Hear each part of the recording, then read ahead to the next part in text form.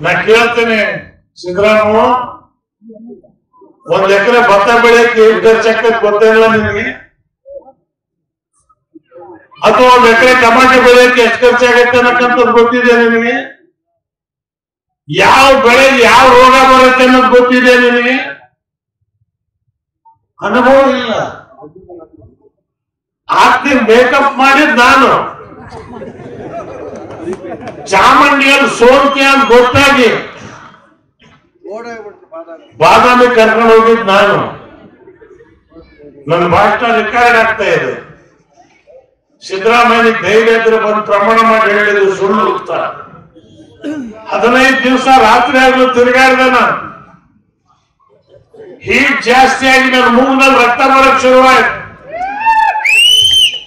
ಆದ್ರೂ ಕೂಡ ಈ ಮನುಷ್ಯನನ್ನ ಗೆಲ್ಲಿಸ್ಬೇಕು.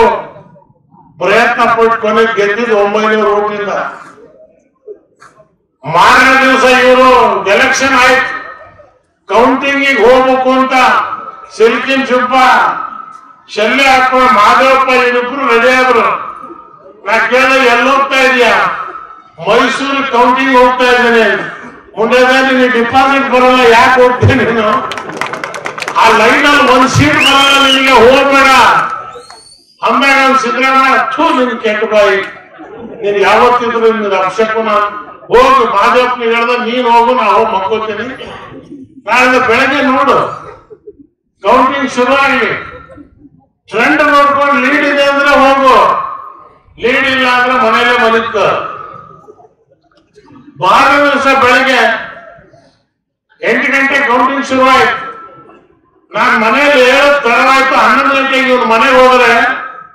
ಸುರ್ಜೇವಾಲ ಗುಲಾಂ ನಬಿ ಆಜಾದ್, ವೇಣುಗೋಪಾಲ್, ಸಿದ್ದರಾಮಯ್ಯ ಕೂತು ಟಿವಿ ನೋಡ್ತವ್ರೆ. ಸಿದ್ದರಾಮಯ್ಯ ಹಿಂಗಂದ ನನಗೆ. ಪಕ್ಕದಲ್ಲಿ ಏನು, ನೀನ್ ಹೇಳಿದ್ದೆ ಸರಿ ಹೋಯ್ತು. ಅಲ್ಲಿ ಚೀಟಿ ದೇವ ಇಪ್ಪತ್ತೈದು ಸಾವಿರ ಲೀಡ್ ಅಲ್ಲ ಸಿಕ್ಕಿದ್ದೇವೆ ಕೂಡ. ನಾಳೆ ಮುಂದೆ ಅವತ್ತೇ ಹೇಳಿ ನಿನಗೆ. ಮಾದೇವಪ್ಪ ನಲವತ್ತು ಸಾವಿರ ಲೀಡ್ ಸೋಲ್ತಾ ಇದ್ದಾನೆ. ಏಕ ಮೈಸೂರಿಂದ ಹಿಡಿದು ಬೆಂಗಳೂರಿನವರೆಗೂ ಒಂದು ಸೀಟ್ ಕಾಂಗ್ರೆಸ್ ಬರಲಿಲ್ಲ.